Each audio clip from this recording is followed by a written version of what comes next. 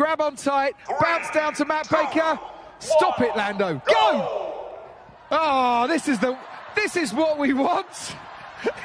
Lando, that, that collision did not help you. Daniel Ricciardo in the lead. Lando Norris has stacked it down the main straight. Here comes Ricciardo. Oh no, it's going to be the